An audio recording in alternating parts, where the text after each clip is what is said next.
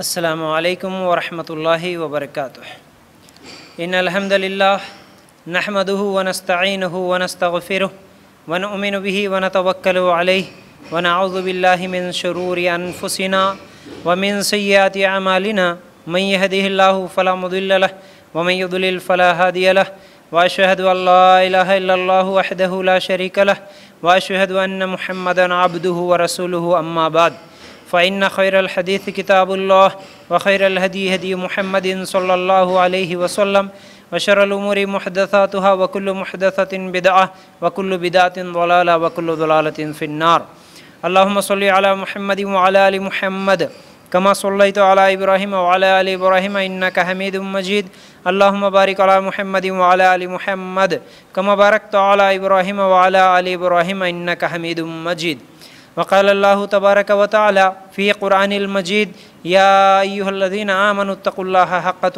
वला तमूतुन्ना इल्ला व अंतुम मुस्लिमून। रब्बि इश्रह ली सदरी व यस्सिर ली अमरी वहलुल उक़दतम मिन लिसानी यफ़क़हू क़ौली। हर किस्म की तारीफ़, हम्दो सना, किबरियाई और बड़ाई उस अल्लाह रब्बुल इज़्ज़त के लिए हैं, जो तमाम जहानों का पालने वाला रब है। और इसी तरह उसके आखिरी नबी मोहम्मद रसूलुल्लाह सल्लल्लाहु अलैहि वसल्लम पर बेशुमार दरुदसलाम हमदोसना के बाद मेरे भाइयों और मेरी माँ बहनों, आज मैं आप लोगों के सामने वसवसों की हकीकत इस उनवान के तहत इन कुछ बातें कुरान और सुन्नत की रोशनी में रखने की कोशिश करूँगा। अल्लाह ताला से हम दुआ करते हैं कि अल्लाह हमारे बोलने और सुनने को कबूल फरमा। अल्लाह हम सबको सीधे रास्ते पे चलने की तोफ़ी फरमा। आमीन या रब्बल देखिए जैसे जैसे इंसान तरक्की करते जा रहा है वैसे ही बीमारियाँ भी बढ़ती जा रही हैं। आज हम देख रहे हैं, हर जगह नए नए हॉस्पिटल्स खुलते जा रहे हैं और उतनी ही ज़्यादा लोगों की भी लाइन लगी हुई है। हर हॉस्पिटल में बहुत ज़्यादा लोग ठहरे हुए हैं, बीमारियों की शिकायतें लेकर। आज से कुछ साल पहले अगर हम देखते हैं, दस बीस साल पहले अगर गौर करते हैं उस वक़्त के हालात तो इतने ज़्यादा ना हॉस्पिटल्स थे और ना ही इतनी ज़्यादा बीमारियाँ हैं। इधर बीमारियाँ भी बढ़ रही हैं तो फिर दूसरी तरफ़ क्या है, डॉक्टर्स और हॉस्पिटल्स भी बढ़ते जा रहे हैं। और नई नई ऐसी ऐसी बीमारियाँ आ रही हैं जो कि हमसे पहले लोग कभी इस बीमारी का शिकार भी नहीं होते थे। इन बीमारियों के बारे में उनको इल्म ही नहीं होता था। ऐसी ऐसी बीमारियाँ भी आज हम सुन रहे हैं। उन्हीं बीमारियों में से एक बीमारी, जहनी बीमारी वो ये है, वसवसों का आना। वसवसों का आना। बुरे ख्यालात का आना। Negative thinking. अब इसको लेकर बहुत ज़्यादा परेशान है लोग। हर उम्र के लोग, बल्कि पढ़ाई करने वाला, पढ़ने वाला बच्चा भी परेशान है तो शादीशुदा औरतें और मर्द भी परेशान हैं। फिर इसी तरह दीनदार लोग, नमाजी लोग भी परेशान है तो बेदीन लोग भी परेशान हैं। मुसलमान भी और गैर मुस्लिम भी, हर एक इस बीमारी का शिकार है। कहीं ना कहीं इस बीमारी में मुलविस होते जा रहे हैं, और बहुत ज़्यादा हम लोगों को तो क्या है, लोग सवाल बार बार करते आ रहे हैं। करते चले जा रहे, दिन ब दिन ये सवाल बहुत ज़्यादा भी हो रहे हैं कि ये वसवसों के ताल्लुक से हम बहुत परेशान हैं। हम क्या करें, इसका इलाज क्या करवाएँ? तो इन मैंने कोशिश की, कुछ अहम बातें आप लोगों के सामने रखने की और इन भी मैं आप लोगों के सामने इस वसवसे की हकीकत क्या है और इसका इलाज क्या है, ये भी इन बताने की कोशिश करूँगा। अगर आप इस वीडियो को, इस बयान को पूरा देखेंगे और गौर से सुनेंगे तो इन मैं समझता हूँ अल्लाह की ज़ात से उम्मीद है कि ये वसवसों के शिकार जितने भी लोग हैं इन वो इन वसवसों की बीमारियों से बाहर निकल सकते हैं इन वसवसा क्या है? वसवसा ये एक शैतानी ख्याल है। अगर कोई ख्याल आने के बाद बार बार आए और वो ख्याल बुराई का हो तो उसे वसवसा कहते हैं। वसवसा क्या है? एक ख्याल आया इंसानी जहन में और फिर बार बार वो आ रहा है। इंसान उसे निकालने की कोशिश कर रहा है, लेकिन फिर भी वो ख्याल बार बार आ रहा है और वो ख्याल अच्छा नहीं है, बुरा ख्याल है तो फिर समझ लीजिए कि ये वसवसा है, ये वसवसा शैतानी ख्याल है, शैतान की तरफ़ से ये वसवसे आते हैं। ठीक है? बहुत सारे लोग, जैसा कि मैंने अभी बताया, बहुत सारे लोग इस बीमारी का शिकार है। कुछ लोग बोलते हैं तो कुछ लोग नहीं बोलते। और अगर कोई कभी बोलता भी है, क्योंकि बोलने के लिए भी डर होता है, ऐसे ऐसे ख्याल, ऐसे ऐसे वसवसे जहन में आते हैं। इंसान बोल नहीं सकता, किसी से बयान नहीं कर सकता, बता नहीं सकता।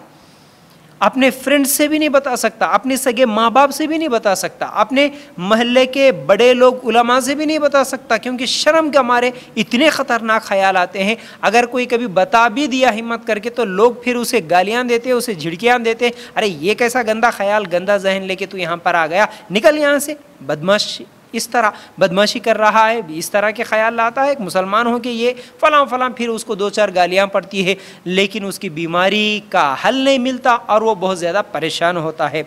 तो इन आज मैं कोशिश करूँगा आप लोगों के सामने कुछ बातें रखने की।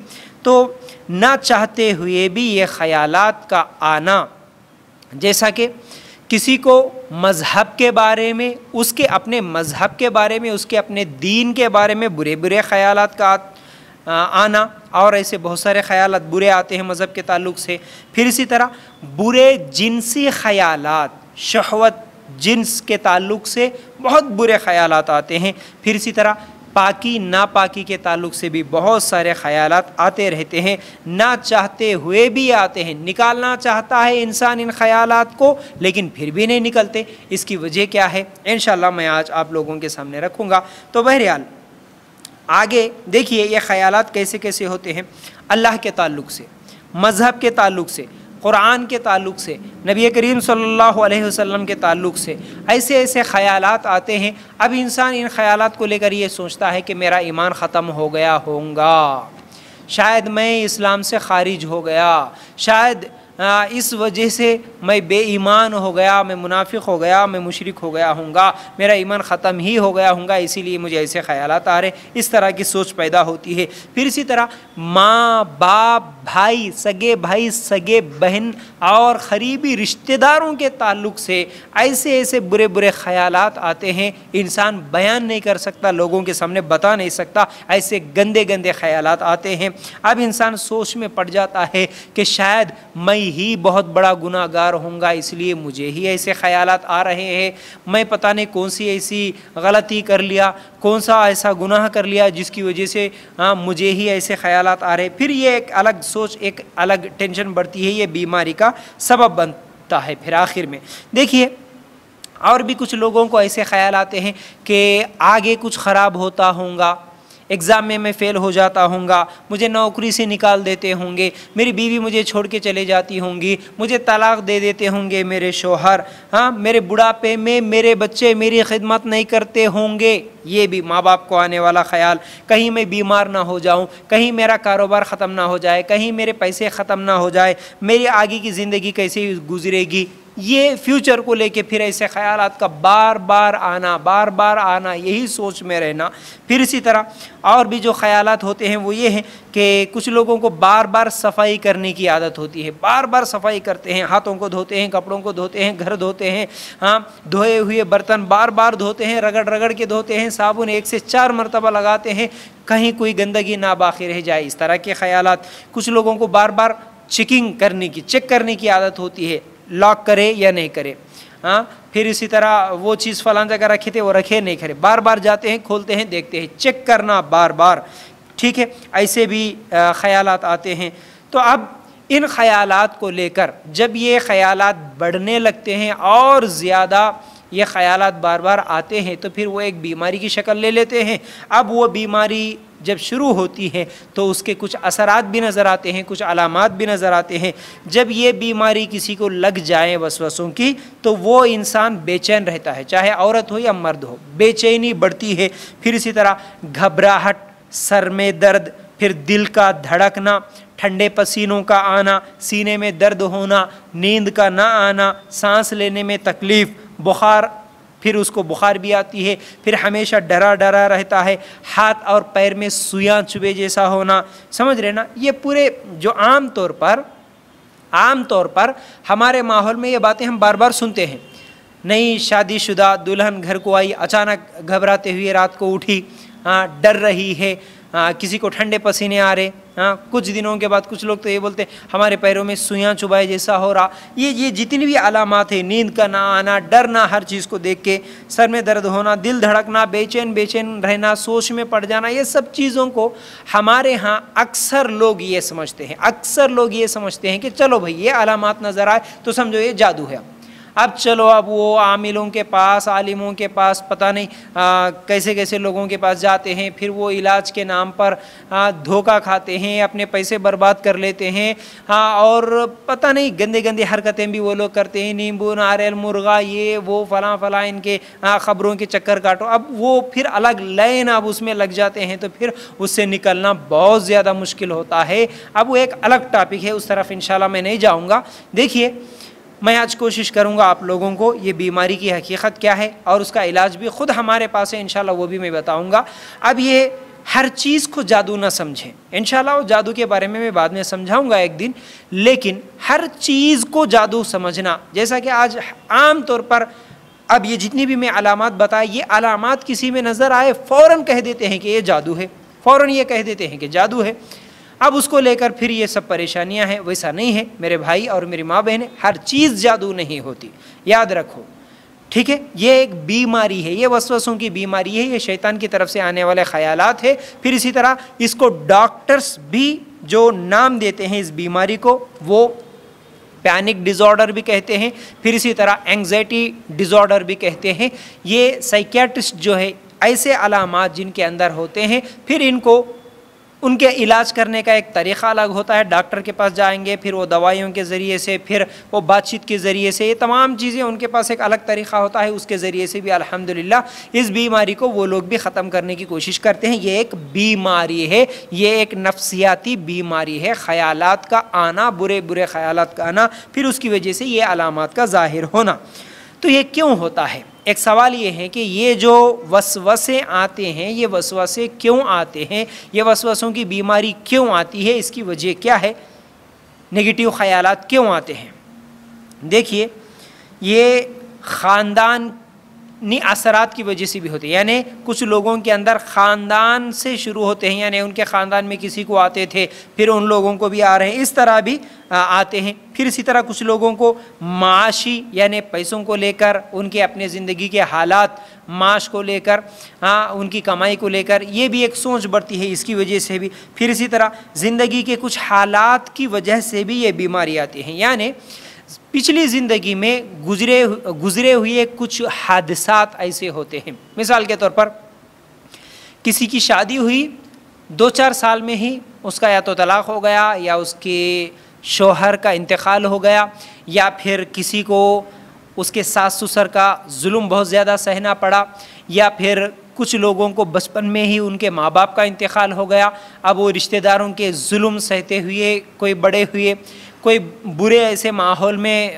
पले, बड़े, या कुछ लोग बचपन से ही किसी के घर में या किसी की दुकान में नौकरी करते हुए बड़े तो वहाँ पर हमेशा उनको झिड़कियाँ खाना पड़ा, बहुत ज़्यादा जुल्म और तकलीफ़ें सहना पड़ा। ये तमाम चीज़ें यानी और किसी का कभी बेटे का इंतकाल हो गया तो किसी की लड़की का इंतकाल हो गया, ऐसे बहुत सारी चीज़ें हैं जो हादसा अपनी ज़िंदगी में जो बड़े हादसा गुज़रे हाँ या किसी के कारोबार अचानक से ख़त्म हो गए हाँ ये ऐसे बहुत सारी चीज़ें हैं जिनकी वजह से भी ये बीमारी शुरू होती है।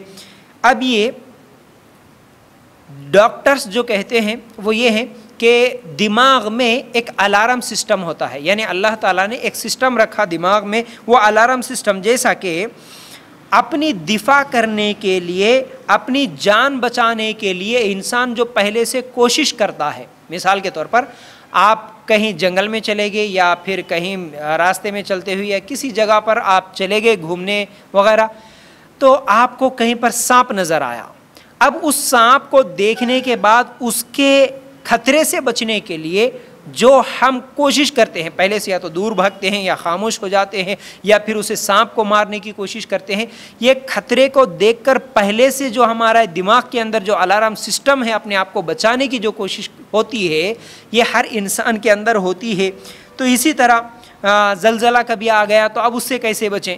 यानी कुछ मुसीबतों से अपनी दिफा करने के लिए, जान बचाने के लिए जो इंसान कोशिश करता है ये हर एक इंसान के अंदर ये ताकत, ये क़वत होती है, ये अलार्म सिस्टम तो होता है। लेकिन ये जो निज़ाम, ये जो अलार्म सिस्टम है, इसमें कुछ ऐसे केमिकल तब्दीलियाँ आती है, जिसकी वजह से वो बहुत ज़्यादा गैर ज़रूरी हद तक हसास बन जाता है, जो बग़ैर किसी खतरे के ही अलामत पैदा करना शुरू हो जाता है। एक खतरा नज़र आ रहा, अब उस खतरे से बचने के लिए ये अलार्म सिस्टम काम करना था। लेकिन जब दिमाग में कुछ केमिकल तब्दीलियाँ आने की वजह से बग़ैर किसी खतरे के ही फिर ये सिस्टम बजना शुरू हो जाता है। जैसा कि शायद मैं मर जाता हूँगा हाँ ऐसे भी ख्याल आते हैं। हाँ बहुत सारे हम लोगों को फ़ोन कॉल्स आते हैं। शायद मैं मर जाता हूँगा अभी आ, मरने से चालीस दिन पहले ऐसा कुछ मालूम होता क्या? ऐसे भी लोग सवाल करते हैं मालूम होता कहते ना अल्लाह ताला इशारा बता देते कहते ना तो मैं मर जाती हूँगी मुझे ऐसे ही ख्वाब आ रहे हैं मुझे ऐसे ही लग रहा मैं इसकी वजह से बहुत ज़्यादा परेशान हूँ ठीक है? आ, फिर इसी तरह मेरा ईमान ख़त्म हो गया हूँगा। यानी ख़तरा नहीं है वहाँ पर लेकिन ये सिस्टम दिमाग का जो सिस्टम हमारा ख़राब हुआ बग़ैर खतरे के ही खतरा पैदा करता है। मेरी बीवी छोड़ के जाती होंगी या मेरा शोहर मुझे तक क्या है, तलाक दे देता हूँगा या नहीं तो मेरे बच्चे, मेरे बुढ़ापे में खिदमत नहीं करते होंगे। हालाँकि बच्चे छोटे हैं वो अभी तो अभी तो पढ़ रहे हैं या फिर अभी अभी शादी हुई है, ये तो अभी बहुत ख़तरनाक खतरा बढ़ता शादी हुई, जैसे ही नई बहू घर में आई, अब उसकी कुछ तो भी एक दो चार दिन, आठ दिन, एक महीना, दो महीने की ज़िंदगी, अब वहीं से सास या ससुर के दिमाग में ये ख्याल का आना कि शायद अब मेरा बेटा बदल गया, मुझे ऐसा लग रहा है कि मेरी बहू कुछ सिखा दी होंगी, अब मेरे बुढ़ापे में शायद ये मेरा सहारा नहीं बनता होगा। इस तरह बग़ैर किसी खतरे के पहले से इन ख्यालात को दिमाग में लाना, ये फिर इसकी वजह से ये बुरे बुरे ख्यालात का आना, अब ये बीमारी है। ठीक है? फिर इसी तरह ये बायोकेमिकल तब्दीलियाँ जो दिमाग के अंदर आती हैं, ये क्यों आती हैं? यही ज़िंदगी में जो बड़े बड़े मसाइल का कभी सामना करना पड़ता हाँ फिर कुछ सवाल उनको परेशान करते रहते हैं ऐसे लोगों को, फिर कुछ लोग बार बार न्यूज़ देखते हैं तो उस न्यूज़ की वजह से इन मैं आगे और भी तफसीत बताऊँगा, सोशल मीडिया की वजह से, फिर माहौल की वजह से, फिर बचपन में गुज़रे हुए या सुने हुए या देखे हुए हालात की वजह से वाक़ात की वजह से भी ये ख्याल आते हैं। हाँ एक बहुत लंबी हिस्ट्री है अल्लाह के लिए और बचपन से आप जो जिस माहौल में रह रहे हैं, वो माहौल का असर होता। जो चीज़ सुने, सुनाए या जो चीज़ देखे, टीवियों के ज़रिए से देखे, जैसा कि ये शैतान या भूत प्रेत का आना, ये औरत की शक्ल में आ रही है मोहिनी आ रही, किसी के ऊपर बैठ जा रही, किसी का गला दबा रही है कर रही, वो कर रही, ऐसे। और भी बहुत सारी चीज़ें हैं। इसमें बहुत सारी चीज़ें ऐसी है जो कि इंसान सिर्फ़ सुनी सुनाई बातों पर या बचपन से कुछ वाक़ात को देखते हुए ये समझ लेता है। अब ये सीरियल्स की देन है या टीवियों की देन है, वो हॉरर पिक्चर्स के नाम पर ये ऐसे बहुत सारी चीज़ और ये सास बहू के जितने भी झगड़े, वो जो सीरियलों में बताते हैं, मियाँ बीवी के झगड़े जो भी बताते हैं, ये तमाम चीज़ें, ये बुरे ख्याल आने की वजह, ये तमाम चीज़ें हैं, ये तमाम ज़राए हैं, जिनको बार बार देखने की वजह से इंसान के जहन में ये ख्याल बैठ जाते हैं। ठीक है? तो बहरहाल, इसकी वजह से भी ये बीमारी बढ़ती है। अच्छा अब सबसे बड़ा ख़तरनाक वसवसा तमाम वसवसों में सबसे ख़तरनाक वसवसा जो इंसान को बहुत ज़्यादा परेशान करता है, वो है अल्लाह के बारे में, अल्लाह की ज़ात के बारे में, नबी करीम सल्लल्लाहु अलैहि वसल्लम के बारे में, कुरान के बारे में, मस्जिदों के बारे में, अल्लाह के दीन के बारे में, इस्लाम के बारे में बहुत ज़्यादा बुरे से बुरे ख्याल आते हैं। जब भी वो अल्लाह का नाम लेता या जब भी वो अजान सुनता या जब भी वो नमाज़ पढ़ने के लिए चले जाता फ़ौर उसके सामने ख्याल आ जाता, एक इमेज आ जाता कि कोई बुत ठहरा हुआ है। हाँ? कोई मूर्ति ठहरी हुई है, कोई चीज़ आ गई है, कोई तस्वीर उसके सामने आ गई, कोई गैरुल्लाह को सामने लाया। अब वो सजदा कर रहा, उसके दिमाग में वसवसा क्या है? वो अल्लाह को सजदा नहीं कर रहा, कोई पत्थर को सजदा कर रहा, कोई इमेज को, कोई तस्वीर को सजदा कर रहा। ऐसा ख्याल उसको परेशान करता है, ये वसवसा आता है। फिर इसी तरह नबी करीम सल्लल्लाहु अलैहि वसल्लम के ताल्लुक से ख़ुद वो नबी को गाली दे रहा है, ऐसा वसवसा, ऐसा ख्याल आता। नबी करीम वसल्लम की बेदबी कर रहा है, ऐसा वसवसा आता। फिर इसी तरह कुरान के ताल्लुक से कुरान को फाड़ दिया, कुरान को फेंक दिया, कुरान पे ईमान नहीं लाता, ऐसा कुरान के ताल्लुक से और बुरे बुरे बुरे बुरे ख्याल उसके उसके पास, उसके जहन में आते हैं। जब भी वो कुरान लेके बैठता है पढ़ने के लिए तो फिर ऐसी चीज़ें आती हैं। गंदे गंदे ख्याल उसके जहन में आते हैं। फिर इसी तरह सहाबा के ताल्लुक से भी बुरे बुरे ख्याल आते हैं। दीन के बारे में आता है कि नहीं, अब तेरा दीन ख़त्म, तू मुनाफिक हो गया, तू मुशरक हो गया, तेरे दिल में ईमान नहीं है, अब तो काफिर हो गया, तू अब जन्नत में नहीं जा सकता। ऐसे भी ख्याल आते हैं। ख़ास तौर पे वो लोग जो इस्लाम कबूल करके आए, जो अभी नए नए मुसलमान बने, या फिर जो लोग अपनी ज़िंदगी में बहुत सारे गुनाह कर लिए थे, बुराइयाँ कर लिए थे। जैसा कि किसी को फ़ैशन परस्ती, फ़ैशन करने की आदत थी। फ़ैशन परस्ती में मुबतला, कोई शराबी था, कोई जिना करने में जिना में मुबतला था। इसी तरह कोई शिरक करने में मुबतला था, शिरक करता था। ऐसे बहुत सारे हाँ जितने भी बुराइयाँ करते थे, अब बुराइयाँ करते करते एक दिन उनको हिदायत मिली, बात समझ में आ गई, अब वो इसलाह कर लिए, तौबा कर लिए, अब वो नमाजी बने। अब वो दीनदार बने, अब वो औरत पर्दा करने लगी, ये मर्द दाढ़ी छो दाढ़ी छोड़ दिया, फिर टोपी लगाया, दीनदार बना, ये पाँच टाइम नमाज़ पढ़ना शुरू कर दिए। अब ऐसे लोगों के पास तो और ज़्यादा वसवसे आते हैं, और ज़्यादा ख्याल आते हैं। अब इसकी वजह से वो लोग और ज़्यादा परेशान।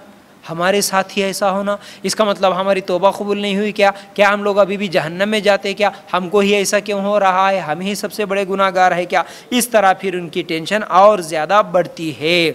बहुत सारे लोगों को ये भी जहन में ख्याल आता है, वसवसे आते हैं।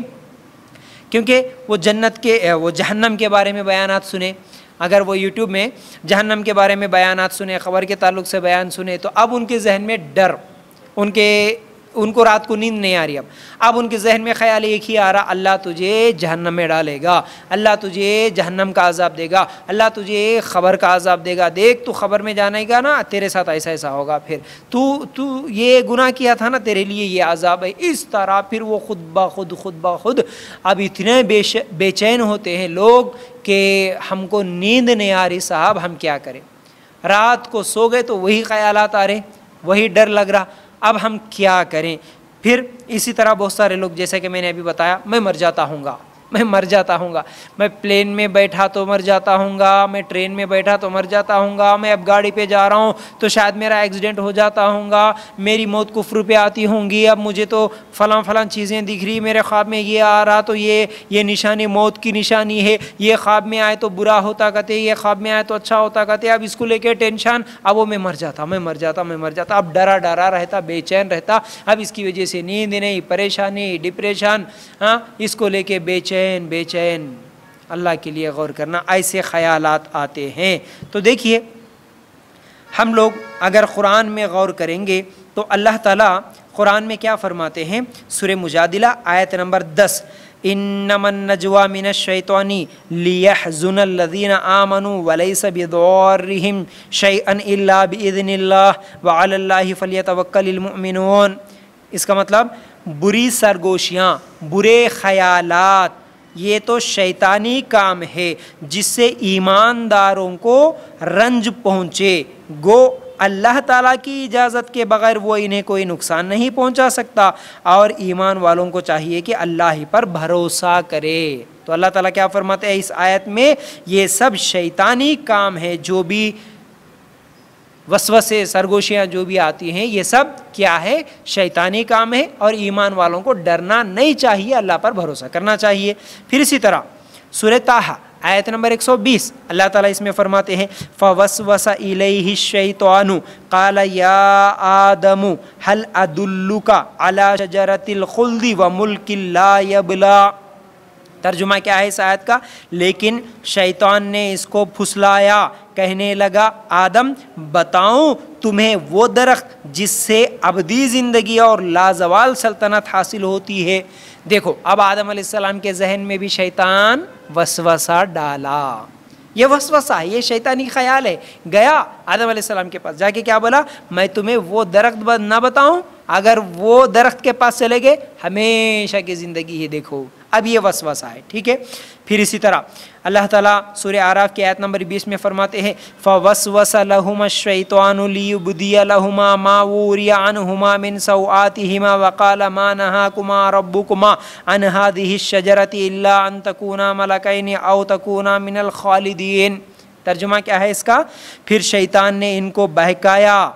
वसवसा डाला फिर इनके दिल में, ताकि इनकी शर्मगाहें जो एक दूसरे से छुपाई गई थी, इनके सामने खोल दे। अब ये भी शैतान के वसवसे है, जिसके ताल्लुक से अल्लाह ताला फरमाते हैं, ये सब शैतानी ख्यालात है। याद रखो याद रखो इन वसवसों के ताल्लुक से अल्लाह ताला ने सूर्य नास सूर्य नास उतारी सूर्य नास कभी पढ़ के देखो कुलाउज बिरबिन्नास उसका तर्जुमा। अल्लाह ताला क्या फरमाते हैं? कुल आउज़ु बिरबिन्नास मलिकिन्नास इलाहिन्नास क्या है? कहो, मैं पनाह माँगता हूँ इंसानों के रब, इंसानों के बादशाह, इंसानों के हकीकी मबूद की। अब यहाँ पर अल्लाह ताला से अपनी हिफाजत के लिए अल्लाह ताला ने ये सिखाया है हमें। गौर करो, मैं पना माँगता हूँ। अल्लाह से हम पना मांगते हैं किस चीज़ की? मिन शर्रिल वसवासिल खन्नास। अल्लदी युवस विसुफ़ी सुदूरिन्नास मिनल जिन्नति वन्नास। क्या है? इस वसवसे डालने के शर से जो बार बार पलट कर आता है, देखिए अल्लाह ताला ने सिखाया है ना हमको, शैतान के ये जो वसवसे आते हैं, इनसे हम अपने आप की हिफाजत कैसे करें? ये पढ़िए। बेहतरीन दुआ है अल्लाह के लिए गौर करना। अल्लाह ताला ने खुद सिखाया, शैतान, इस वसवसे डालने वाले शैतान के शर से अल्लाह मुझे महफूज रख, मुझे बचा। जो लोगों के दिलों में वसवसे डालता है, ख्वा वो जिन्नों में से हो या इंसानों में से, इंसानों में से हो या जिन्नों में से जो भी वसवसे दिल में डालता है, अल्लाह उससे हमें महफूज रख। ये दुआ भी अल्लाह ताला ने हमको कुरान में बता दी। अब मैं आप लोगों के सामने कुछ अहम हदीसें भी रखूँगा। याद रखो, बड़ी अहम चीज़ें हैं आप लोगों के सामने इन जब भी आपके दिल में कोई वसवसा आए, कोई बुरा ख्याल आए इन आयतों को और इन हदीसों को ज़रूर याद रख लेना। इन आपका वसवसा ख़त्म हो जाएगा इन जैसा कि नबी करीम सल्लल्लाहु अलैहि वसल्लम ने क्या फरमाया? अल्लाह ताला ने मेरी उम्मत के दिलों में पैदा होने वाले वसवसों को माफ़ कर दिया, जब तक वो इन्हें अमल या ज़ुबान पर न लाए। सही बुखारी, सही मुस्लिम की रिवायत। क्या है? अल्लाह के रसूल सल्लल्लाहु अलैहि वसल्लम फरमाते हैं कि अल्लाह ताला माफ़ कर दिया। मेरे उम्मत के लोगों के वो गुनाह को माफ़ कर दिया। कौन से? जो दिलों में पैदा होने वाले वसवसे हैं। दिल के अंदर आपको अब जो भी वसवसा पैदा हुआ, अल्लाह के ताल्लुक से, नमाज़ के ताल्लुक से, नबी के ताल्लुक से, कुरान के ताल्लुक से माँ बाप के ताल्लुक से भाई भाई बहनों के ताल्लुक से किसी भी किस्म का बुरा बुरे से बुरा ख्याल, गंदे से गंदा ख्याल आपके दिल में आया। दिल में आया। जब तक उसे आप ज़ुबान पे नहीं लाए, ज़ुबान पे लाने का मतलब आप लोगों को बोलते हुए फिरे कि देखो मेरे को ऐसा ख्याल आया, देखो मेरे को ऐसा, नहीं।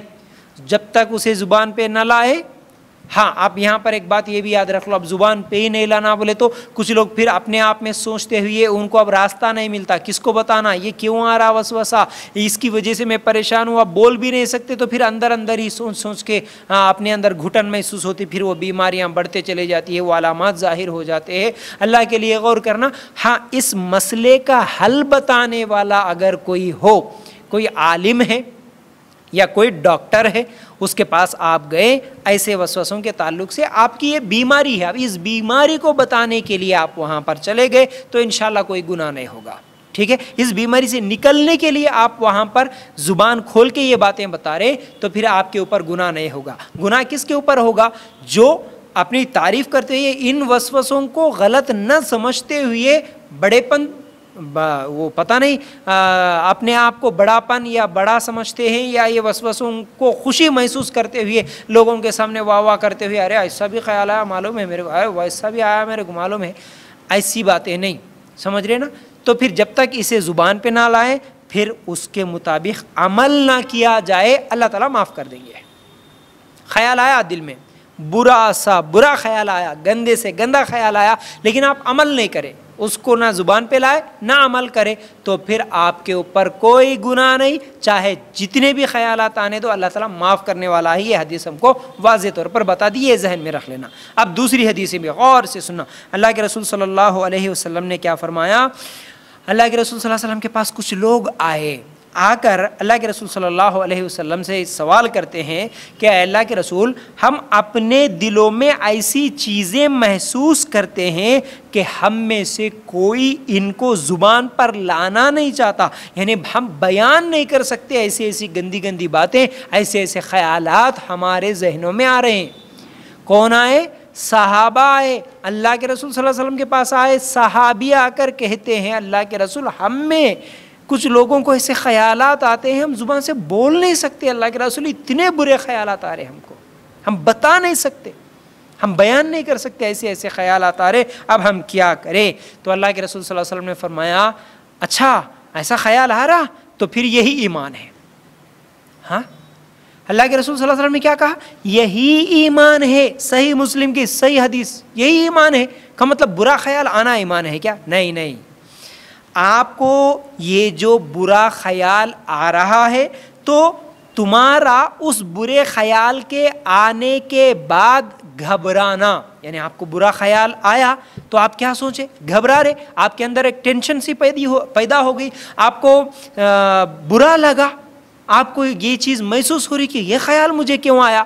तो आपका ये घबराना फिर उन वसवसों के खिलाफ आपका सोचना, अब मैं क्या करूँ? अब ये वसवसों से कैसे बचूं? ये ख्यालात को कैसे ख़त्म करूँ? ये जो सोच आपके दिमाग में आ रही है, यही ख्याल, यही सोच तो फिर ईमान है, यही असल ईमान है। अल्लाह अकबर, अल्लाह के रसूल वसल्लम ने वाजे कर दिया। फिर इसी तरह नबी करीम सल्लल्लाहु अलैहि वसल्लम के पास एक आदमी आया, आकर कहता है, अल्लाह के रसूल सल्लल्लाहु अलैहि वसल्लम, मेरे दिल में ऐसे ऐसे वसवसे आ रहे हैं, ऐसी ऐसी सोच मेरे दिल में आ रही है कि मैं इसको बयान करने से बेहतर समझता हूँ कि मैं जल के राख बन जाऊँ, कोयला बन जाऊँ। अल्लाह अकबर, कैसा बुरा ख्याल आया होगा। सहाबी को आया, अल्लाह के रसूल सल्लल्लाहु अलैहि वसल्लम के पास आके सवाल करते हैं वो अल्लाह के रसूल मेरे दिल में ऐसे बुरे बुरे ख्याल आ रहे हैं कि मैं उनको बोलना पसंद नहीं करता, बल्कि बोलने से बेहतर है कि मैं जल के मर जाऊँ राग बन जाऊँ, ये बेहतर है मेरे लिए। तो अल्लाह के रसूल सल्लल्लाहु अलैहि वसल्लम ने क्या फरमाया? अल्लाह अकबर अल्लाह अकबर। अल्लाह का शुक्र है, उसने शैतान के मकर को वसवसा बना दिया। अल्लाह के रसूल वसल्लम ने क्या फरमाया? उसने शैतान के मकर को वसवसा बना दिया, अल्लाह का शुक्र है, ये सिर्फ़ वसवसा है, ये शैतान का मकर है। ये शैतान की तरफ़ से ख्याल है बस। इसका मतलब ये है, और क्या है? वसवसा मोमिन को कभी नुकसान नहीं पहुंचाता, या बुदाऊद की रिवायत है।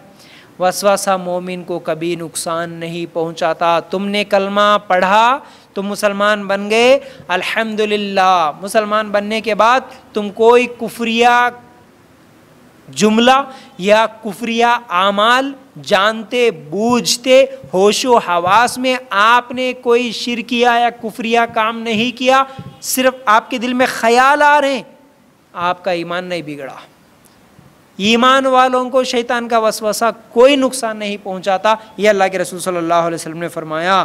तो बहरहाल बहरहाल, एक और हदीस भी अगर देखेंगे हम तो अल्लाह के रसूल सल्लल्लाहु अलैहि वसल्लम ने फरमाया, बेशक शैतान तुम में से किसी के पास आता है और कहता है कि तुझे किसने पैदा किया? तो जवाब क्या क्या आता फ़ौर हमारे जहन में ख्याल? मुझे अल्लाह ने पैदा किया। अच्छा आसमान को किसने पैदा किया? अल्लाह ने। ज़मीन को किसने पैदा किया? अल्लाह ने पैदा किया। तो फिर अल्लाह को किसने पैदा किया? अब ये शैतानी ख्याल है।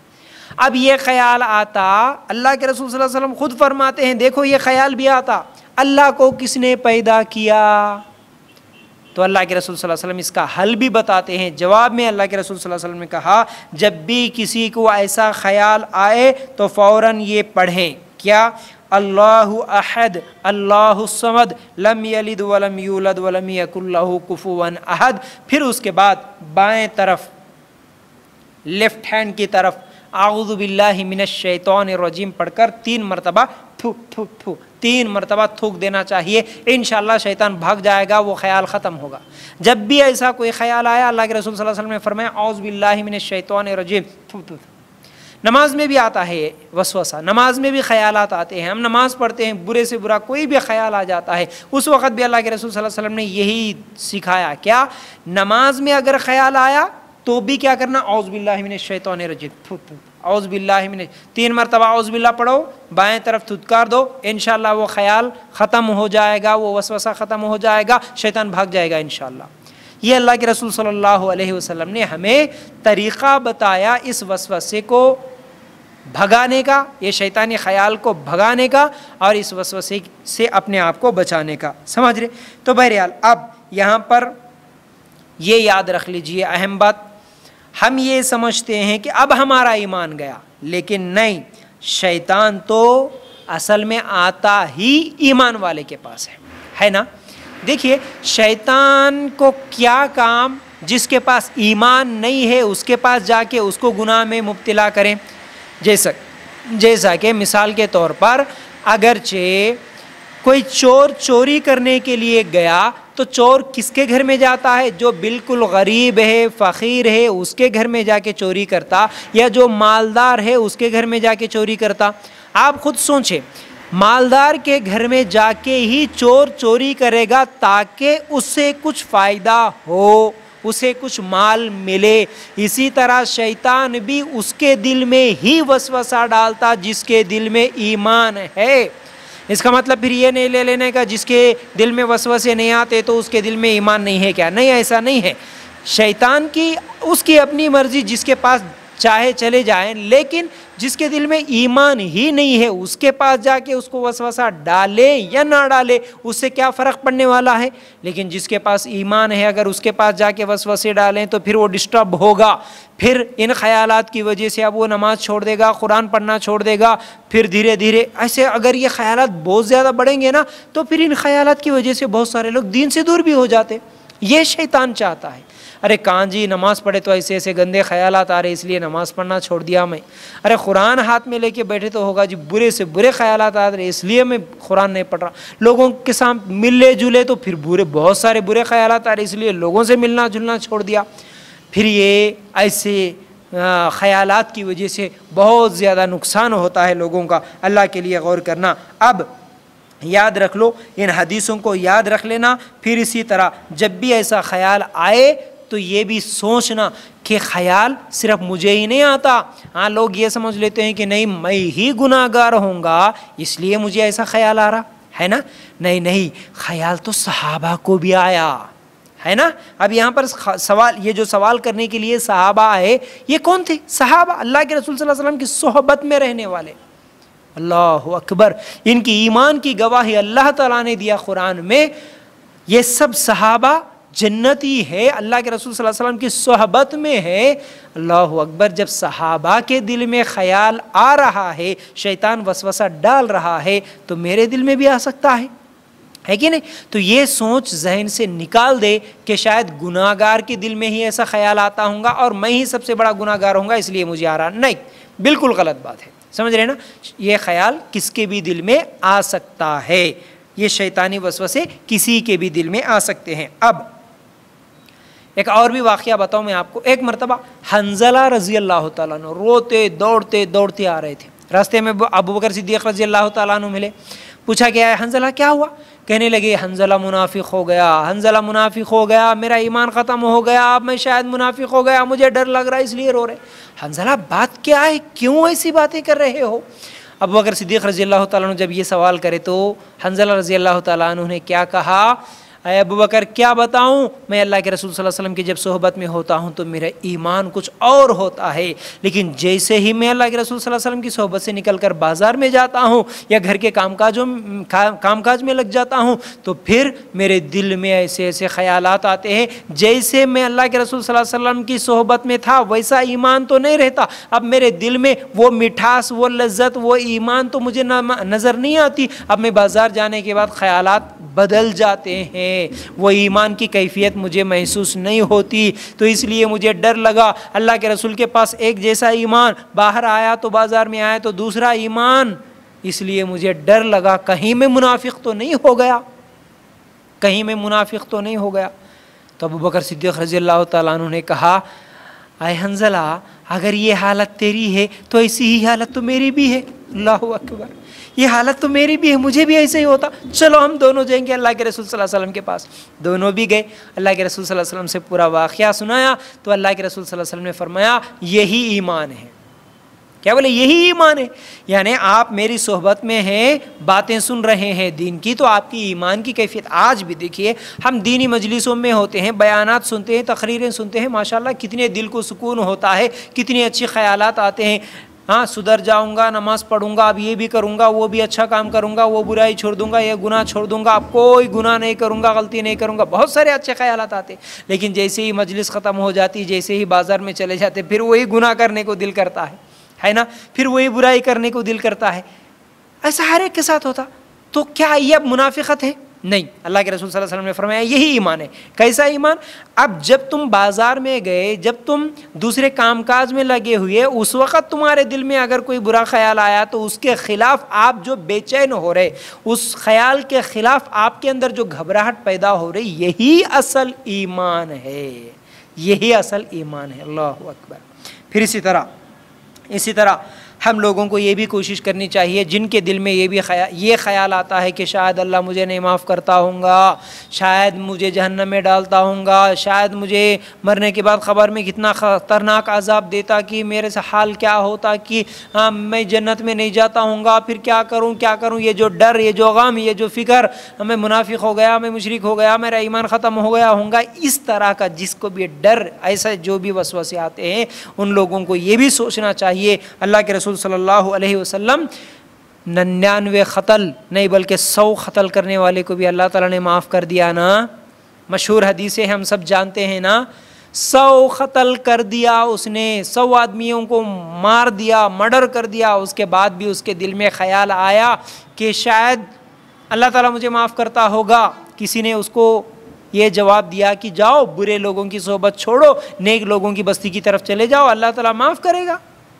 अब ये इरादे से वो निकला। बुरे लोगों की वो जहाँ जिस बस्ती में रहता था, उसे छोड़ दिया। नेक लोगों की बस्ती की तरफ़ वो चल रहा। चलते चलते रास्ते में ही उसकी मौत आ गई, मर गया वो।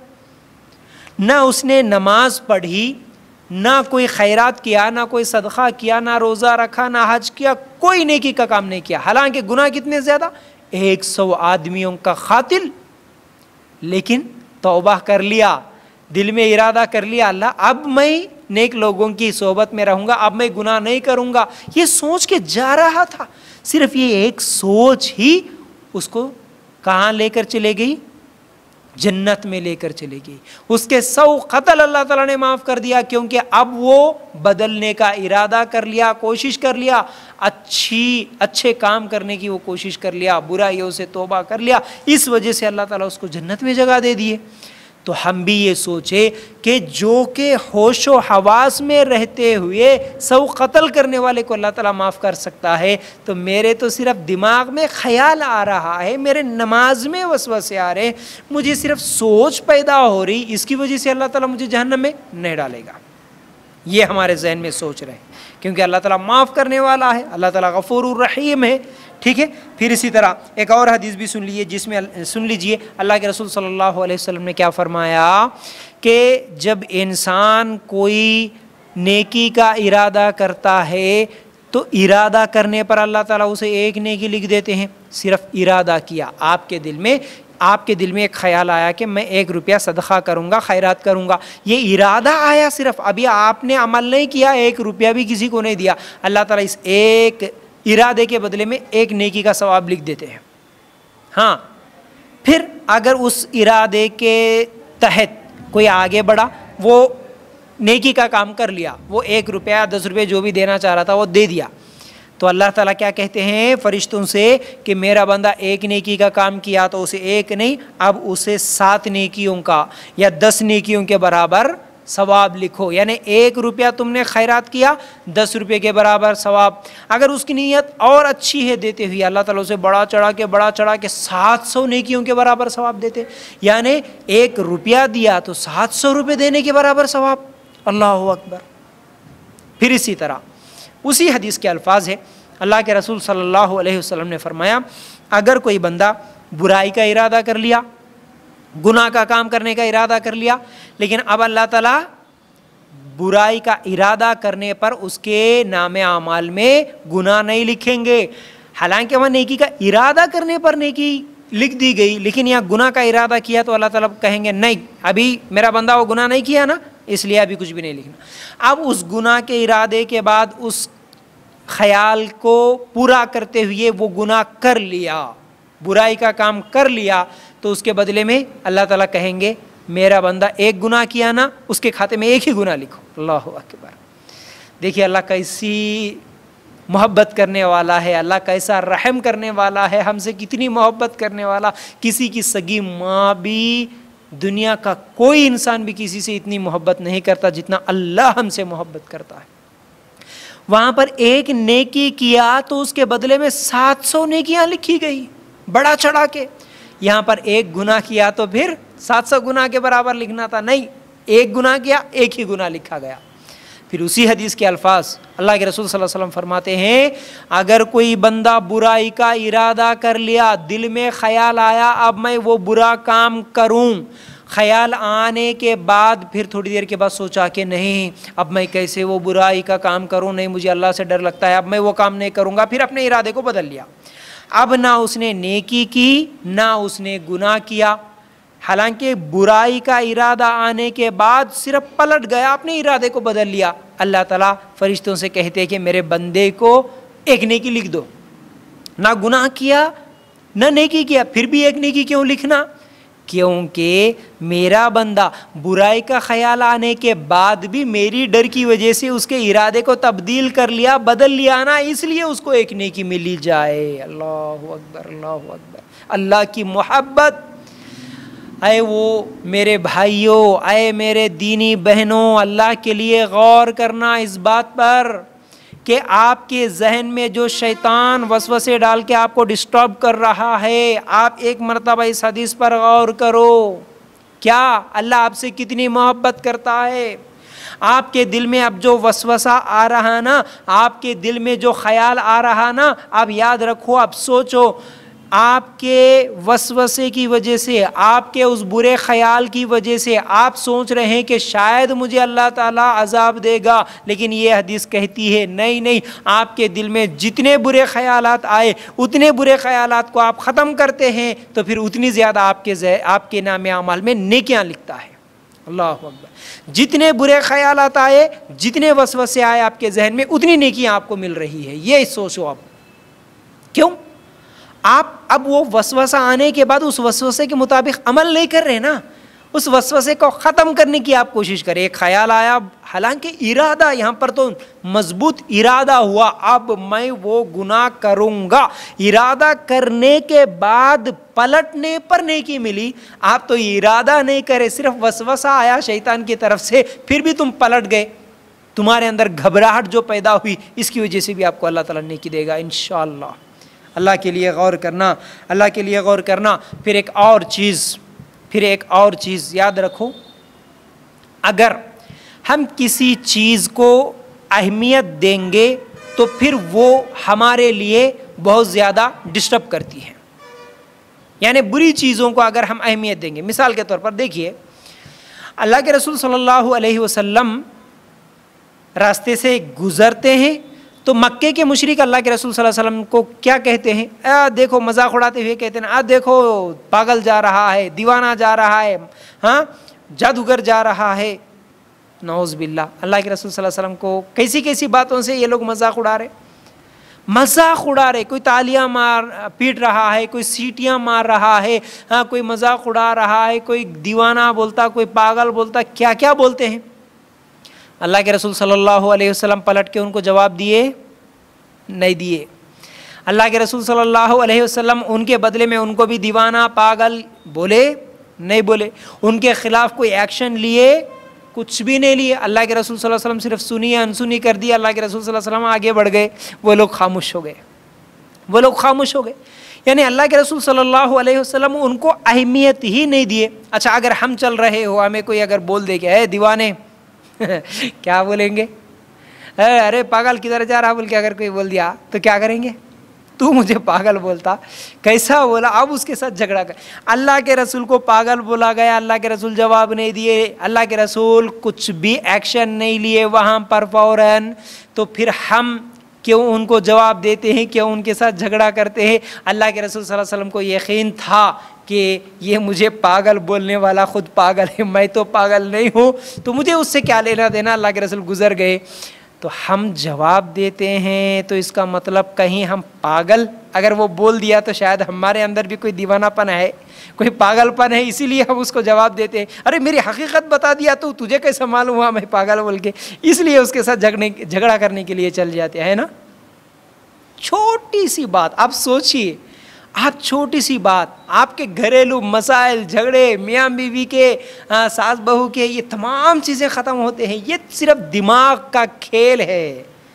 सिर्फ़ उसको रिसीव कर लेना उस बात को सुनना और उसका जवाब देने में उसको लेकर हमारा रिएक्शन क्या होता? ये अगर थोड़ी सी बात हमको समझ में आ जाए तो सब मसले ख़त्म हो जाएँगे। अल्लाह के रसूल जवाब नहीं दिए, उसका हम क्यों जवाब देते? हम क्यों उससे लड़ने लग जाते हैं? अल्लाह के लिए गौर करना। तो अहमियत उसको नहीं दिए। देखिए, अगर आपके ऊपर किसी ने कमेंट कर दिया, आप उसको जवाब दिए। अब वो क्या करेगा? वो खामोश नहीं बैठेगा। वो भी एक और कमेंट करेगा अगला दिन। फिर उसको आप जवाब दिए। फिर वो उससे ज़्यादा और कुछ तो भी बोलेगा। ये झगड़ा बढ़ते जाएगा। किसी ने आपके ऊपर बहतान लगाया, किसी ने आपके ऊपर तोहमत लगाया, किसी ने आपके ऊपर झूठी बात कही, किसी ने आपकी गीबत की, चुगली की, आप खामोश रहे आए चल कर ले, तेरा काम तो है, कर ले, तेरे को जो करना है कर ले। मैं मैं वो काम किया ही नहीं तो मुझे उसके बारे में सोचने की क्या ज़रूरत है? आप अपना काम आप करते चले गए। अब वो कमेंट करने वाला कितने दिन करेगा? कितने दिन करेगा? एक दिन, दो दिन, तीन दिन, उसके बाद खुद थक जाएगा। अरे वो जवाब ही नहीं दे रहा तो मैं क्या करूँ भाई? अब वो जवाब ही नहीं आ रहा। हाँ अगर जवाब हम दिए तो फिर उसको भी मज़ा आता, है ना? उसको भी मज़ा आता अब वो भी और ज़्यादा कुछ तो भी करने की कोशिश करता। अब हम उसको जवाब दिए, इसका मतलब ये है कि उसको हम अहमियत दिए बस। अब उसको हम अहमियत दिए, अब अहमियत देने की वजह से अब वो भी बड़े बढ़ चढ़कर और भी ज़्यादा काम करने में आगे बढ़ता। जब उसको जवाब ही नहीं दिए तो खामोश हो जाता, है कि नहीं? अब सास झगड़ा करने वाली है या बहू चिल्लाने वाली है। अब ये सास बहू के झगड़े में अगर एक की बात पर दूसरा जवाब देने लग गया, दूसरी जवाब देने लग गई तो एक से एक एक से एक बात बढ़ते रहती। अब सास अगर झगड़ा करने वाली है, अब उसको जब झगड़ा करना दिल बोला, वो गुस्सा कर रही, वो चिल्ला रही, उसके बदले में बहू कुछ भी नहीं बोली, खामोश रही। अकेली सास कितनी देर पुकारेगी? है ना? कितनी देर पुकारेगी वो? खामोश हो जाएगा ना? मसला ही ख़त्म। लेकिन नहीं, उसके बाद पर अब ये भी जवाब देंगे तो फिर वो झगड़ा बढ़ते बढ़ते बड़ा हो जाता। अल्लाह के लिए गौर करना।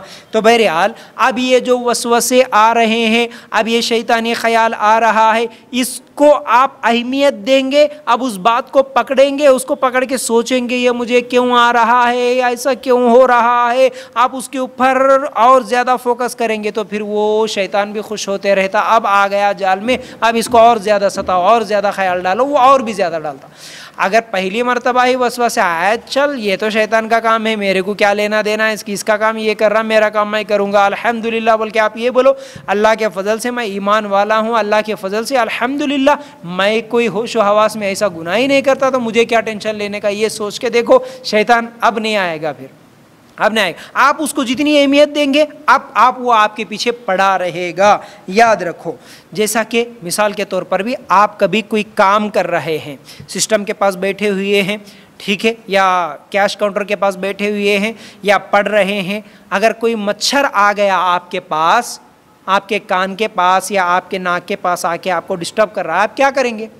यूँ हकाल देंगे और आपका काम आप करेंगे। उतना ही ना, अब वो मच्छर आया कैसे? अब मैं उसके पीछे पढ़ूँगी अब वो किताबें बंद करके, वो काम बंद कर दे के पूरा वो हाथ में झाड़ू लिए या कुछ और ले लिए, अब वो मच्छर कहाँ कहाँ घूम रहा? पूरा घर पूरा उसके पीछे, उस मक्खी के पीछे घूमते हुए उसको मार ही दूँगा। जब तक वो ख़त्म नहीं होगा, अब तक, उस वक्त तक मैं खामोश नहीं बैठूँगा। इस तरह आप करेंगे काम? मच्छर की अहमियत क्या है? यूँ हकाल दिया, वो भाग गया, उसका काम वो कर लिया, आपका काम आप कर लिए। लेकिन उस मच्छर को अगर अहमियत दे के आप उसके पीछे पड़ेंगे तो फिर आपका काम खराब, आपका टाइम वेस्ट आपके लिए बेचैनी टेंशन इसी तरह ये वस वसा है, शैतानी ख्याल है। आप उसको अहमियत दे के उसके पीछे पड़ेंगे तो फिर ये आपको और ज़्यादा सताएगा। जब आपको उस, आप उसको अहमियत ही नहीं देंगे तो फिर वो भी आपको नहीं सताएगा। इस बात को भी याद रख लीजिए इन ठीक है? फिर इसी तरह इसी तरह। तहारत में भी वसवसा बहुत सारे लोगों को क्या वज़ू गसल, हैज़, निफास को लेकर बहुत ज़्यादा वसवसा। शक की वजह से बार बार धोते बार बार धोते। मेरा वज़ू हुआ कि नहीं कि? मेरे नाखून भीगे कि नहीं कि? मेरे पैर के बाल है वो पूरे भीगे कि नहीं? मेरा वज़ू हुआ कि नहीं? बार बार एक से दस मरतबा धोना वज़ू में। फिर इसी तरह साबुन से धोना ज़रूरी होगा। पेशाब को गए तो भी साबुन से धोना, या गसल करे तो भी साबुन लगाना ज़रूरी होगा। अब ये भी सवाल आता थे साबुन से नहाए तो ही गसल होता क्या? शेख, हम क्या करना? अल्लाह अकबर।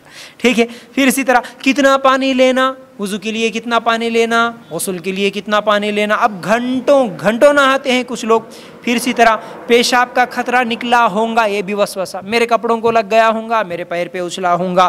फिर इस तरह का वसवसा। फिर इसी तरह, हवा खारिज हुई होंगी। हाँ नमाज़ पढ़ते पढ़ते हवा खारिज हुई होंगी या वज़ू बनाने के बाद हवा खारिज हुई होंगी, मेरा गसल नहीं हुआ होगा। हम बिस्तरी किया। अगर बीवी के साथ सोहबत किया तो फिर उस बेड पे, उस बिस्तर पे बैठना नहीं, उसको छीना नहीं, उसको धोना पड़ता। हाँ नमाज़ पढ़ने का है मेरे को। अल्लाह अकबर। फिर ये एक वसवसा। और किसी पानी को लेकर इसमें कुत्ता मुँह डाला होगा, इसमें बिल्ली मुँह डाली होंगी, इसमें कुछ तो भी गंदगी गिरी होंगी, इस तरह का वसवसा। ठीक है? अब याद रख लो, अल्लाह के रसूल सल्लल्लाहु अलैहि वसल्लम ने क्या फरमाया? इब्ने माजा की रिवायत, वज़ू में जो शख्स तीन दफ़ा से ज़्यादा धोएगा, वो नाफरमान है। क्या है?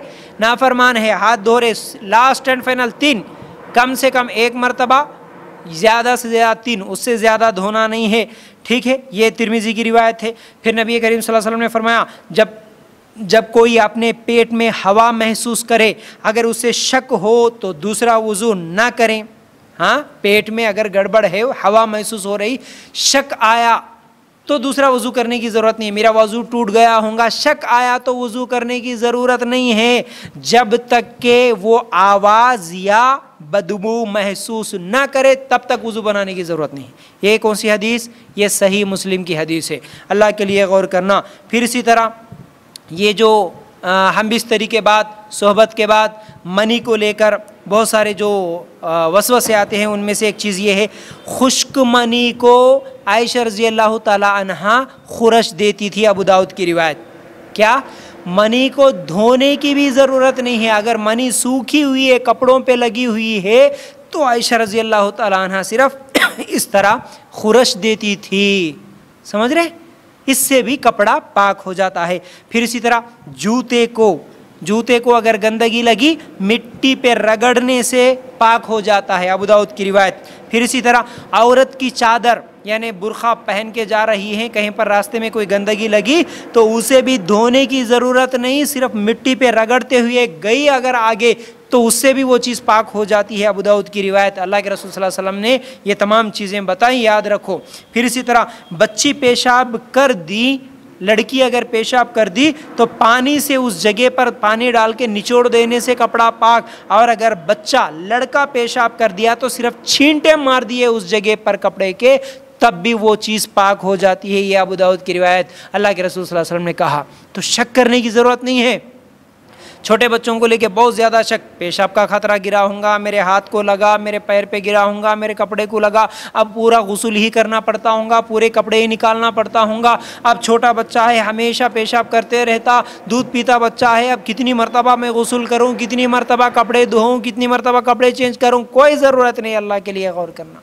इतना ज़्यादा टेंशन लेने की ज़रूरत नहीं इन हदीसों पर गौर करो। फिर इसी तरह हम ट्रेन में सफ़र करते या बसों में सफ़र करते या फिर कभी पार्कों वगैरह में जाते हैं, नमाज़ का टाइम हो जाता है तो दिल में ख्याल नमाज़ पढ़ने का होता है, लेकिन एक डाउट पता नहीं इस जगह पर कौन बैठा होगा, पता नहीं यहाँ पर कुत्ता आया होगा, इस सीट पे कौन गंदा आदमी बैठा होगा या कोई शराबी बैठा होगा।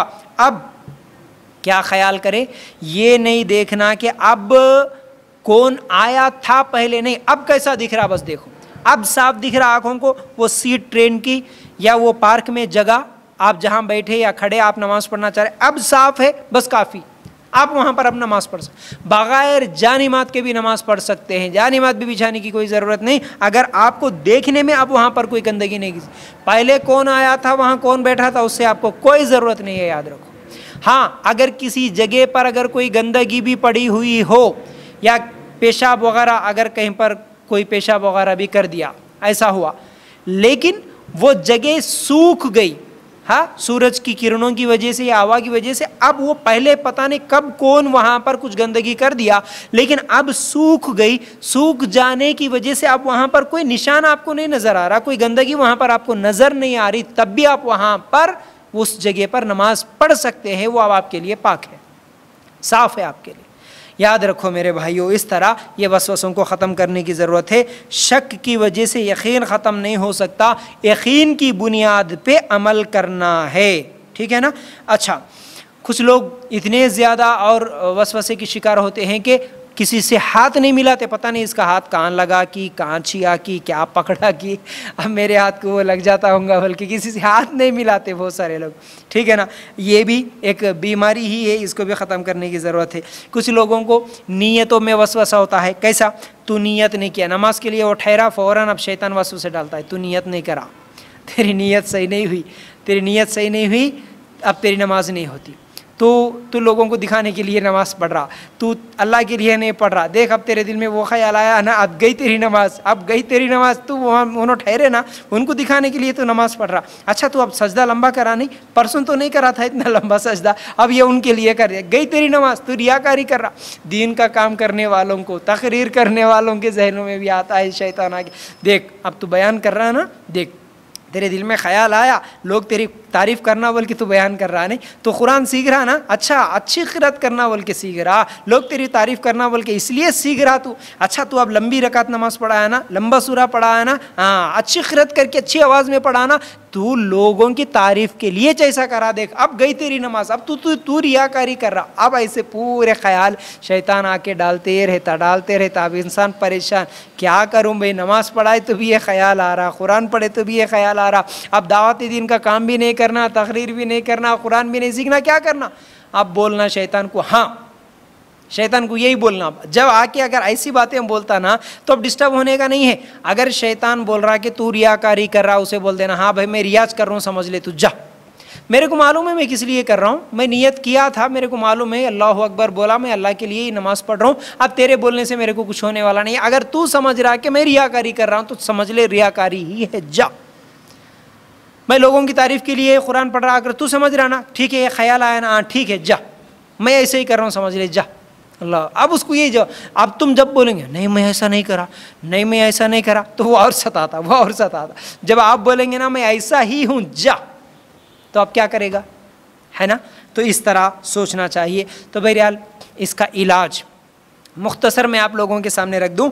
इन वसवसों का इलाज ये है शर्य इल्म हासिल करना, उलमा के सोहबत में बैठना या उलमा के तकारीर सुनते रहना, ये बहुत ज़्यादा असर करता है। आपकी इस बीमारी को ख़त्म करने में बहुत ज़्यादा मदद होती है इन हाँ शर्य इल्म हासिल करो, कुरान का तर्जुमा पढ़ो या किसी आलिम से सीखो, कुरान सीखो तकारीर सुनो दीनी मजलिसों में बैठो, इल्म हासिल करो दीन का। इसकी वजह से इन सब ख्यालात या वसवसे सब ख़त्म हो सकते हैं।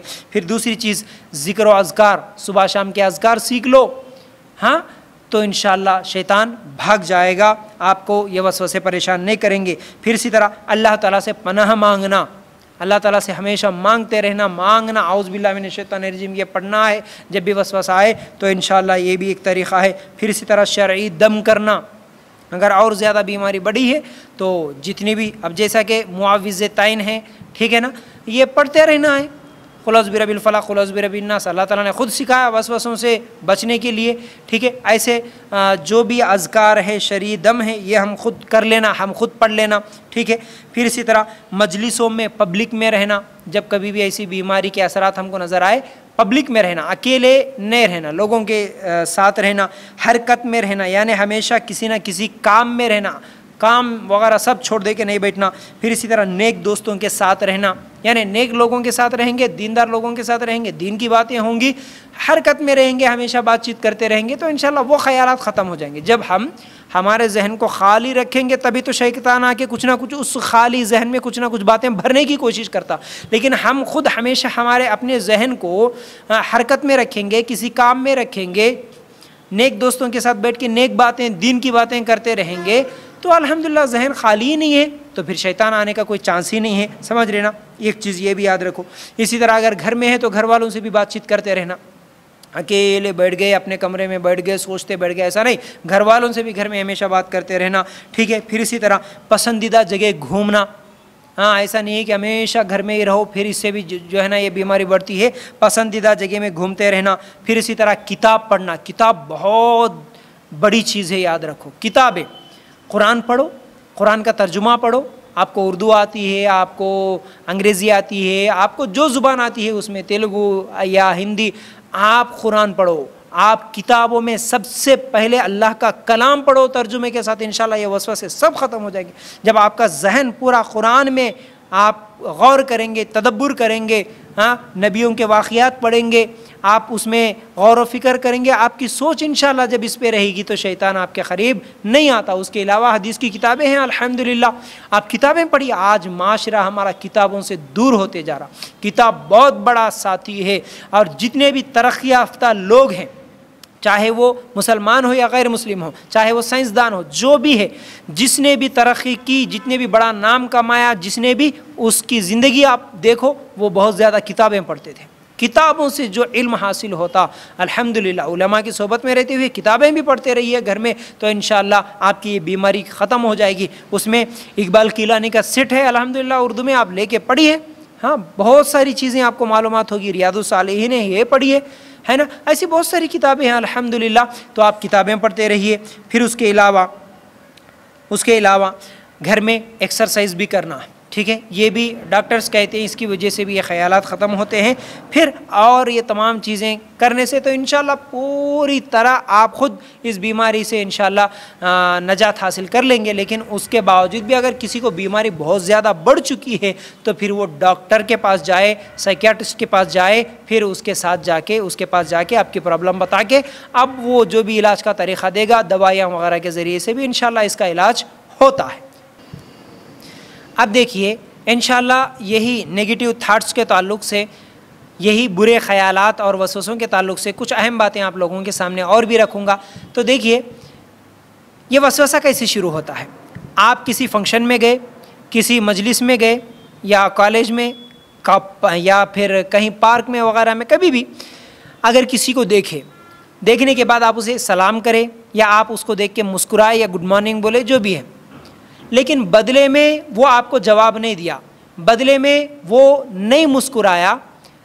तो अब ये जो बीमारी जिसको लग चुकी है, अब ये वसवसों का जो शिकार है, वो जहन में फ़ौर क्या सोचेगा? अच्छा मैं मुस्कुराया लेकिन ये नहीं मुस्कुराया। मैं सलाम किया लेकिन ये मुझे जवाब नहीं दिया। इसका मतलब शायद वो मुझे पसंद नहीं करता, इसलिए नहीं मुस्कुराया। शायद वो मुझसे बात नहीं करना चाहता, इसलिए वो जवाब नहीं दिया। तो इसका मतलब वो मुझे पसंद नहीं करता।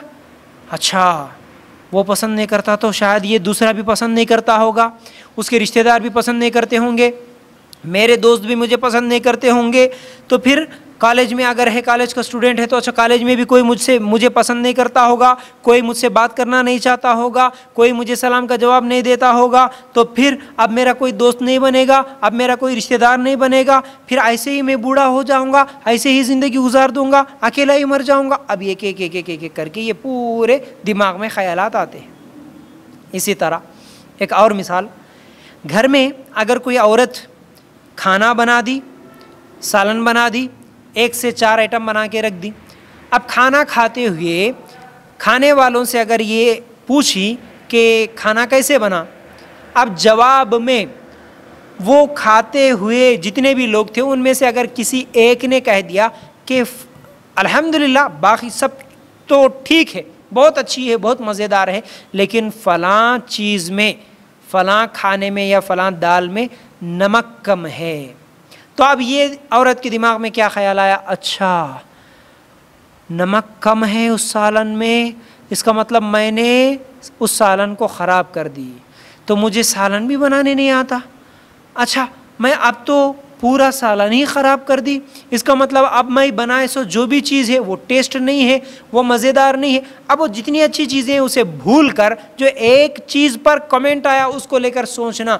अब इसका मतलब मुझे बनाने नहीं आता, अब मैं बनाए सो चीज़ किसी को पसंद नहीं आती। अब मैं तो बेकार हूँ, फिर मेरा बनाने का क्या फ़ायदा? फिर मेरा खिलाने का क्या फ़ायदा? अब मेरा रहने का क्या फ़ायदा इस घर में? अब मुझे कोई पसंद ही नहीं करता होगा। इस तरह ये चीज़ें, ये बीमारी बढ़ती हैं। तो अब क्या करना? इन ख्यालात को कैसे ख़त्म करना? ठीक है, पहले वजह क्या है पहचाना जब कभी भी आपको किसी भी किस्म का वसवसा आया तो आप पहले क्या कीजिए? थोड़ा अकेले में बैठिए, सिर्फ़ मोटिवेशन बोलते इसे। अपने आप को मोटिवेट करना है। कैसे? अपने आप से सवाल करना। क्या? पहले वजह क्या है ये पहचानो। जब भी सैड फील कर रहे हैं, जब भी बुरा ख्याल आया, समझ रहे? आप पहले सोचो कि उस वक्त से पहले क्या हुआ था। यानी अब मेरा दिल उदास है, बोलते ना उदास है भाई, क्या हुआ? पता नहीं, कुछ तो भी हुआ। तो अब वो हुआ क्या? अकेले में बैठो, सोचो उससे पहले क्या हुआ था। थोड़ा पीछे जाके देखना है। मेरे दिमाग में क्या ख्याल आया? क्या सिचुएशन था? अब आपको याद आया। अब पूछना है, दिमाग से पूछना है कि ये जो बुरा ख्याल आया, ये क्या था, क्यों आया? अब ये जो नेगेटिव थाट्स जो आए, मेरे दिमाग में इसका बनाने वाला कौन है? मेरा मेरा खुद का दिमाग है, मेरा अपना ब्रेन है जो ये ख्याल को बनाया। तो फिर बनाने वाला ही से तोड़ भी सकता है। ये जो दिल उदास बना, उदास किसने बनाया? खुद दिल ने बनाया तो यही दिल फिर उस उदासी को ख़त्म भी कर सकता है, ये जहन में रख लो। अब उससे पूछना, सवाल करना, इस ख्याल का प्रूफ क्या है? यानी अभी जो आपके दिमाग में ख्याल आया कि वो मुझसे मोहब्बत नहीं करता, ये लोग मुझे पसंद नहीं करते, मैं खाना ही नहीं बना सकती, मैं रहना बेकार है, ये जो भी ख्याल आया ना, इसका प्रूफ क्या है? अब आपका दिमाग जवाब देगा, जवाब मिलेगा कि हाँ उसने जवाब नहीं दिया था ना मेरे सलाम का, ये है असल प्रूफ इस वजह से ये सब चीज़ें मेरे दिमाग में आई। अच्छा तो आप पूछना, ये प्रूफ क्या स्ट्रांग है? ये जो दलील है, क्या स्ट्रांग है, क्या ये सही है, इसमें कुछ ताकत है? ये बात मान लेना कितना परसेंट सही है कि उसने जवाब नहीं दिया तो इसका मतलब वो मुझे पसंद नहीं करता। ये ये बात कितना, कितनी स्ट्रांग है, कितनी सच्चाई है इसमें? तो आपके दिमाग में ख्याल आया, शायद ट्वेंटी थर्टी परसेंट सही हो सकता। तो गलत भी हो सकता हाँ गलत भी होने के चांसेस है। कैसे? क्या कुछ और मतलब भी इसका हो सकता है?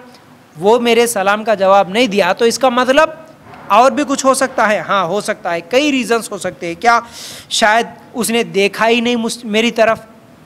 शायद मेरी बात वो सुना ही नहीं होगा।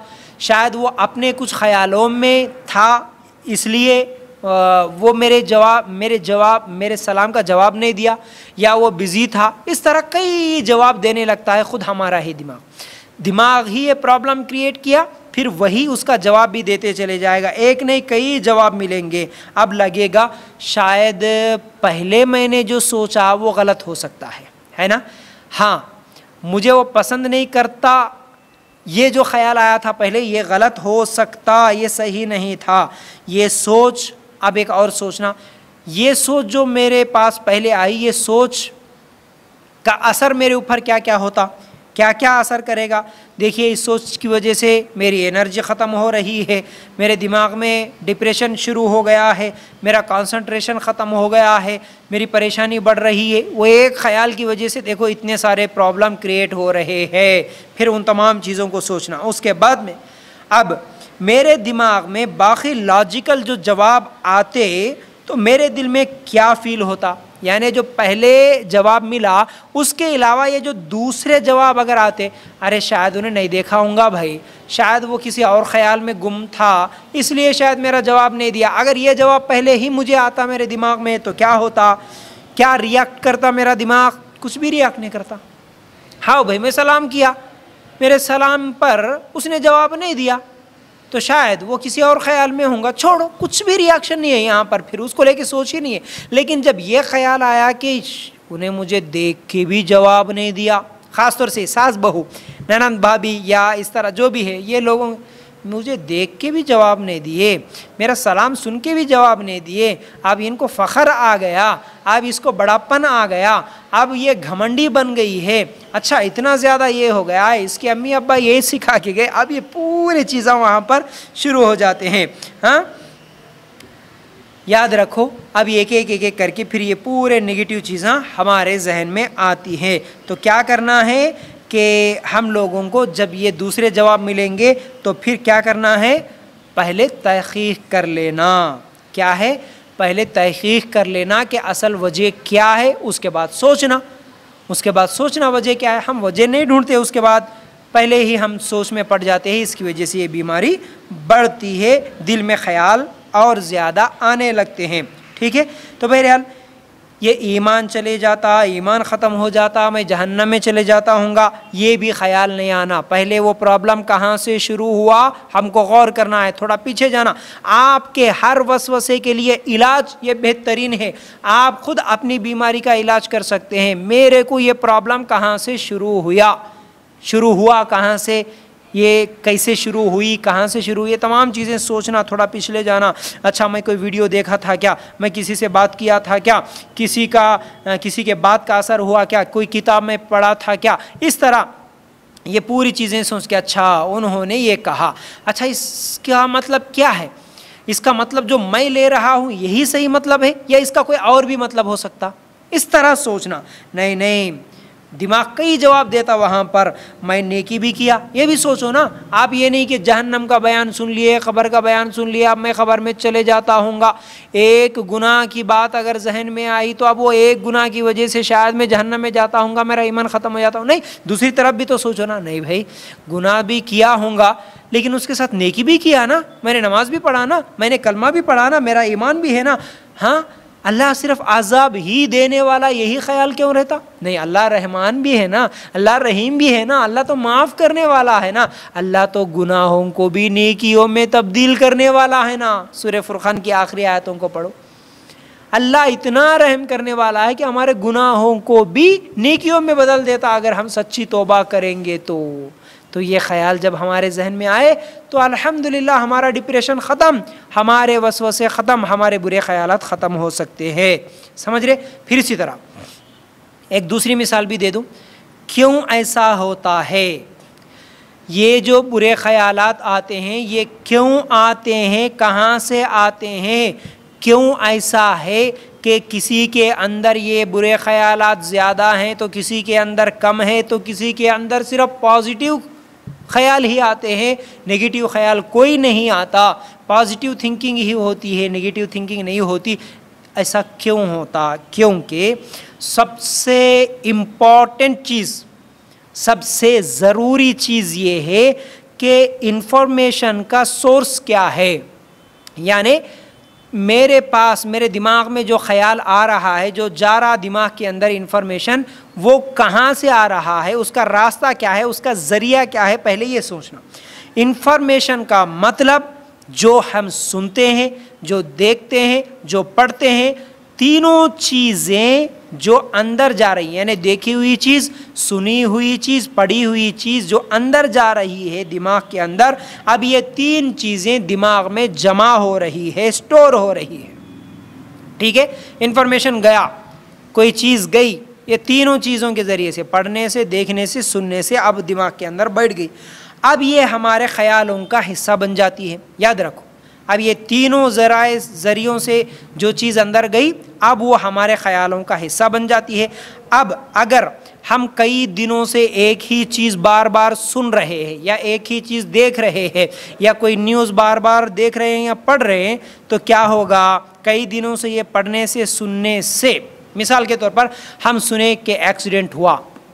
फ़लाँ जगह आज एक्सीडेंट हुआ, दूसरे दिन यहाँ एक्सीडेंट हुआ, फ़लाँ और एक दिन यहाँ एक्सीडेंट हुआ, फ़लाँ रात को हुआ, फ़लाँ दिन को हुआ, अरे आजकल बहुत ज़्यादा एक्सीडेंट हो रहे भाई, बहुत ज़्यादा एक्सीडेंट हो रहे नौजवान लोग भी मर रहे हैं। अब ये ख्याल कई दिनों से बार बार बार बार आ रहा है, एक बार, दो बार, दस बार, कई महीनों से ये चीज़ सुनते आ रहे अब एक दिन अचानक हमारे ही घर का कोई आदमी, आपका शोहर या आपका बेटा रात को देर से आया, आपने फ़ोन किया, फिर भी वो फ़ोन रिसीव नहीं किया तो सबसे पहले ख्याल जो आता है आपके दिमाग में, वो यही आता है कि आपके बच्चे को भी या आपके शोहर को भी एक्सीडेंट ही हुआ होगा। है ना? यही बुरा ख्याल क्यों आया? इसकी जगह अच्छा ख्याल भी तो आ सकता था शायद मोबाइल साइलेंट में होगा, शायद किसी और काम की वजह से रुके होंगे, शायद किसी के साथ मीटिंग में होंगे, कोई ज़रूरी काम से रुके होंगे। इस तरह अच्छा ख्याल भी आ सकता है, लेकिन ये बुरा ख्याल क्यों आया कि एक्सीडेंट ही हुआ है? कुछ हुआ तो नहीं? हाँ? गलत तो नहीं हुआ? ये ख्याल क्यों आया? हम क्यों अच्छा नहीं सोच पाते? अच्छे ख्याल क्यों नहीं आते? क्योंकि ये सोचा किसने? दिमाग ने। क्योंकि हम दिमाग में जमा करके रखे, स्टोर करके रखे कई दिनों से वो न्यूज़ जो बार बार पढ़ रहे बार बार देख रहे, अब हमारे दिमाग में वो चीज़ जमा है।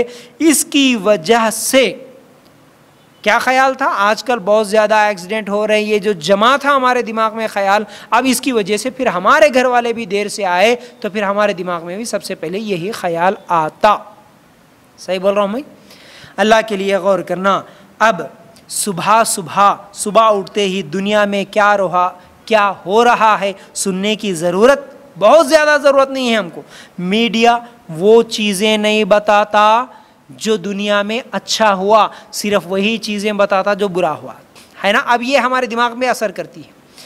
कितने हज़ारों लोग, कितने लाखों लोग दुनिया में चैन सुकून की ज़िंदगी गुजारे, आराम से सो गए, रात को ये नहीं बताएगा मीडिया। लेकिन कितने लोग परेशान थे, कितने लोगों को एक्सीडेंट हुआ, कितने लोग खुदकुशी करे, कितने लोग कत्ल हुए, यही चीज़ें बताएगा मीडिया। हमारे दिमाग में यही चीज़ बैठ गई। ठीक है? मीडिया तो बहुत कुछ दिखाएगा मुझे, लेकिन मुझे क्या लेना है उससे, वो मैं खुद सोचूँगा। मुझे क्या लेना है? ये चॉइस हमारी है, अल्लाह के लिए गौर करना। सुबह उठते ही फ़ोन देखे, सुबह उठते ही फ्रेंड्स ने क्या चाट किया होगा, क्या पोस्ट किया होगा हाँ दुनिया में क्या हुआ होगा, ये तमाम चीज़ें देखकर फिर उसी ख्याल में पूरा दिन गुजार देने से बेहतर। अगर सुबह सुबह इल्म सीखते, इल्म और हिकमत की बातें सीखते, अल्लाह का कुरान पढ़ते, रूहानी सुकून दिलाने वाली चीज़ें, अल्लाह का कलाम पढ़ते, कुरान का तर्जुमा पढ़ते, कुरान सुनते या दीन की बातें सुनते तो अल्हम्दुलिल्लाह हमारा दिमाग, हमारे दिमाग में कितना सुकून होगा। अल्लाह के लिए गौर करना। तो ऐसी चीज़ें जो रूह को सुकून दिलाने वाली चीज़ों का सीखना, देखना, पढ़ना, ये हमारे लिए ज़रूरी है, याद रखो। नॉलेजेबल लोगों से मिलो, यानी इल्म वाले लोगों से मिलना, इल्मी प्रोग्राम्स देखना, इल्मी किताबें पढ़ना, ऐसी चीज़ें, यानी जब इल्म बढ़ेगा, यानी इल्म वालों से मुलाकात कर रहे हैं आप। इल्म बढ़ रहा है। इल्मी किताबें पढ़ रहे हैं। इल्मी प्रोग्राम्स ही देख रहे हैं। तो इल्म बढ़ेगा जब भी। अब हमारे दिमाग में स्टोर हुआ, अल्हम्दुलिल्लाह। तो जब कभी भी डर दिखेगा हमारे सामने, जब कभी भी कोई प्रॉब्लम दिखेगा, चाहे वो घर के अंदर का प्रॉब्लम हो, लड़ाई झगड़ा हो, या फिर किसी के बारे में कोई ख्याल हो। समझ रहे ना? कोई बुरा वसवसा हो, जब कभी भी डर दिखा हमारे जहन में तो जब कभी भी प्रॉब्लम आ गया तो हमारा माइंड, हमारा दिमाग ही उसका सोल्यूशन भी दिखाएगा।